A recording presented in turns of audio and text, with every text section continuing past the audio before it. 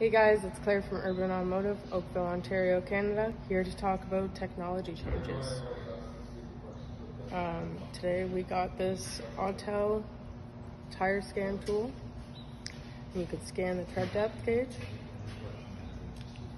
So you want to go down tire like this, outside, press the button, it's going to scan. You're going to go to the inside, middle.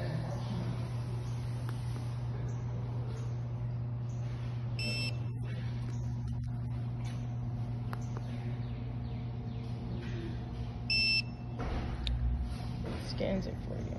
So you just want to swipe over like that. And it'll show you how much tread it is. This is a good tire.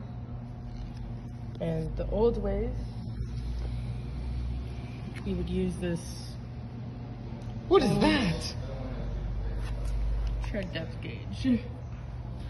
Hard to see. You would have to do it over and over